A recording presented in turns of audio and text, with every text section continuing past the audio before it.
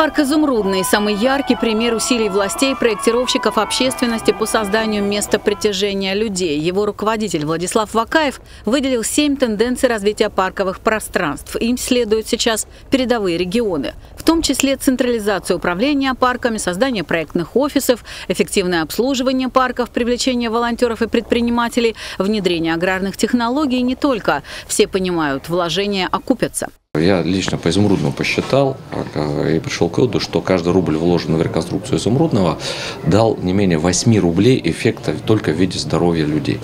А, это одно из самых эффективных вложений бюджетных средств, которые можно только придумать. Мы еще не считаем другие а, эффекты.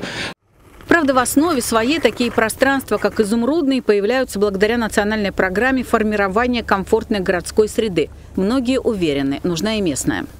Краевая программа нужна да. Она назрела. Она вчера еще была нужна. Краевые власти понимают, средств Федерации на создание модных и современных пространств, а только общественных территорий за 7 лет было создано порядка 330, не всегда хватает. Приходится помогать краевыми. О программе местной обещали подумать позже. Логика сегодня нашей работы в том, что муниципалитеты, это их э, прямая ответственность и задача должны обеспечивать эту работу. При этом, если необходимы какие-то, так скажем, э, наша совместная работа, мы готовы ее вместе организовать. Э, создавать краевое предприятие, которое будет заниматься муниципальными объектами, ну пока вот такую задачу и смысла не видим.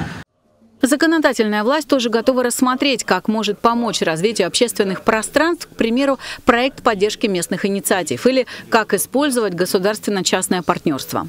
Я убежден однозначно, без участия бизнеса, без их инвестиций, развитие этих пространств, оно в принципе невозможно. Не может государство постоянно содержать общественные пространства.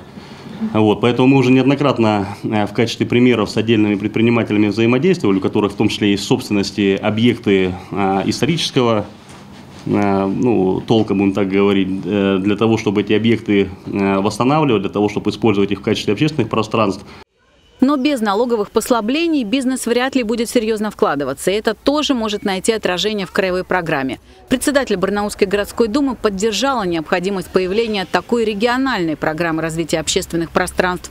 Несмотря на наличие городской, общекраевая помогла бы решению многих вопросов. По ее мнению, нужна и единая дирекция управления парками. Такие уже существуют во многих регионах. Общественники двумя руками высказались за такую дирекцию.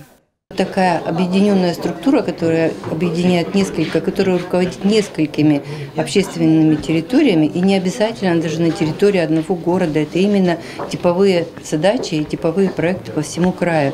Это оптимизация расхода бюджетных средств. Общественники считают, что нужен и совет парков, как орган взаимодействия с властями. Архитекторы, между тем, настаивают. Барнаул все еще не дотягивает до нормативов по наличию зеленых зон.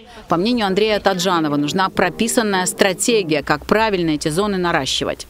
Нужно стремиться к этому и стратегически понимать, что ну, как бы вот осознание количество метров квадратных сегодня и количество метров в идеале, да, оно само по себе ничего не дает, если нет понимания, как, этому, как к этому двигаться, да, то есть какие шаги-то надо принимать. Итогом круглого стола стала резолюция, которую Общественная палата направит в правительство края, КЗС и администрацию Барнаула. А летом в Белокурихе обсуждение важной темы развития общественных территорий продолжится. Татьяна Голубева, Владислав Ковалев. День с толком.